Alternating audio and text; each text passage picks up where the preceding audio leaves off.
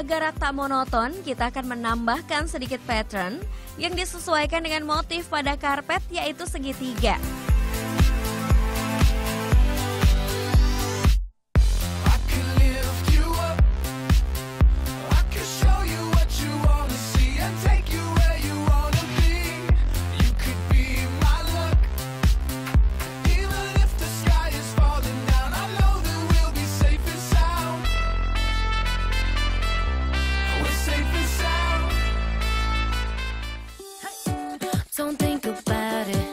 Setelah memasang stiker pada rak, kini saatnya memasukkan koleksi buku milik klien.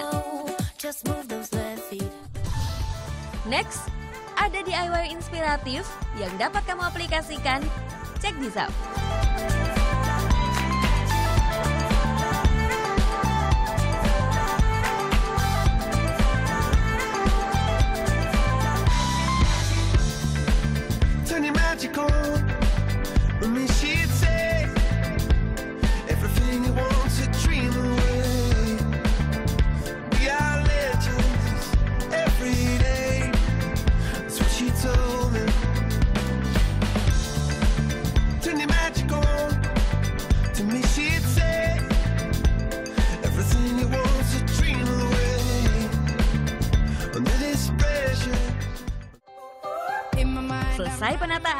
Kita beralih ke area lain. Di sini, dinding akan dicat dengan warna biru sesuai kesukaan klien. Nah, meja makan yang sebelumnya berada di tengah akan dipindahkan ke bagian jendela untuk memberi kesan luas.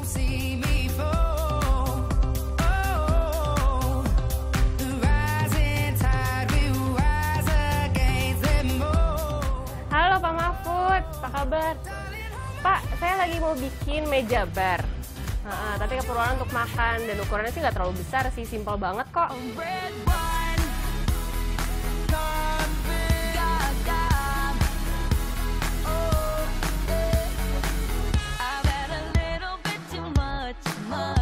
Selanjutnya, berbelanja untuk kebutuhan di ruang makan.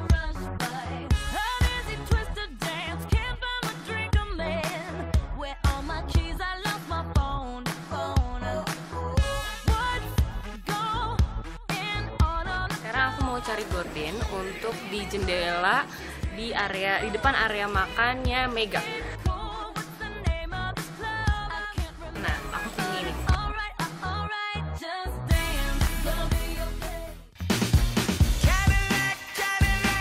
Nah, agar gordin yang dibeli tadi tidak terkesan polos, berilah sedikit pattern yang bisa dibuat sendiri dengan mudah.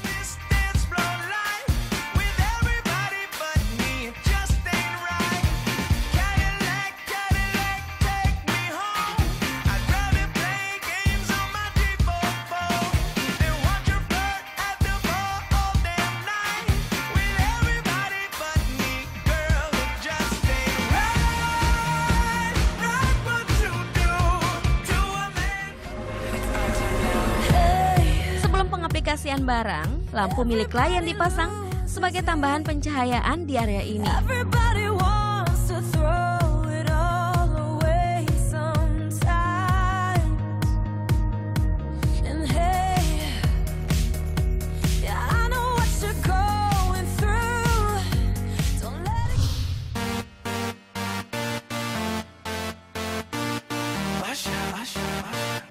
Yeah, man.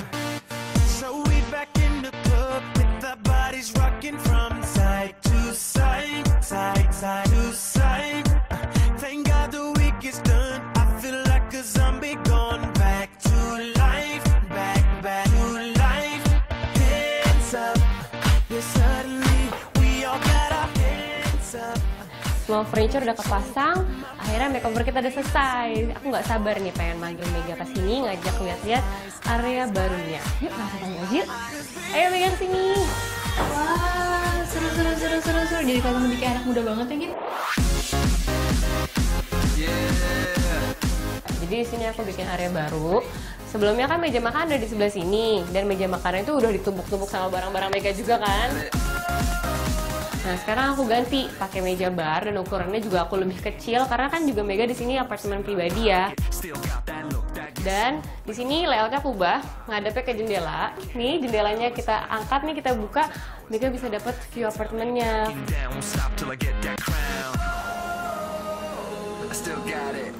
Rak bukunya aku ganti sesuai request kamu. Aku- baru, bener, bener bener banget. Dan aku ganti pakai warna putih, masih match dengan meja di sebelah sana.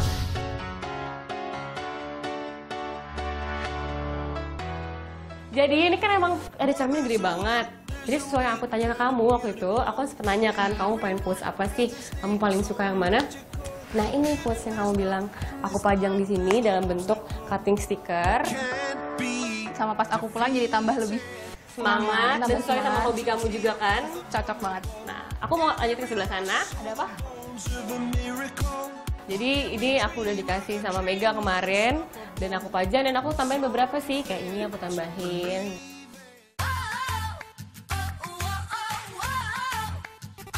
Di bagian bawah, kamu nggak sadar ada sesuatu yang baru di sini? Ada karpet. Dan nah karpet ini juga jadi salah satu point of interest di area ini karena. Aku ya, suka banget. ah seneng banget tuh gitu karena patternnya paling uh, menarik paling uh, warnanya juga paling cerah di sini beda area deh dibanding area-area lainnya nah jadi Oke. Ada untuk sofa ini apa nih yang kamu pegang Bantal. jadi di sini aku tambahin beberapa bantal-bantal baru kayak ini ini ini dan terus untuk nambah kenyamanan juga aku tambahin ini nih Oke. kerasa lebih enak nggak Enak-enak banget. jadi lebih hangat ya. lebih hangat. Nah, untuk yang di sebelah sana, jadi ada sesuatu yang kita bikin sendiri nih. Dia dari karung bekas. Aku- Kita cat dengan warna biru pastinya ya. Dan untuk nutupin galon. Oke, lucu banget sih Gina. Warnanya biru juga ya. Biru tetap ya. Kamu kan suka baca, Hah? ya harus pasti ada harus ada, ada ini dong ya, pencahayaan yang hah? direct kan. Tempat paling PW-nya kamu lah Bener-bener bener-bener banget. ya. Jadi sesuai nggak nih kira-kira sama? Sesuai, banget. Sesuai. Selamat menikmati area barunya ya. Oh, ya. Gina. Thank you. Sama-sama. Makasih banyak.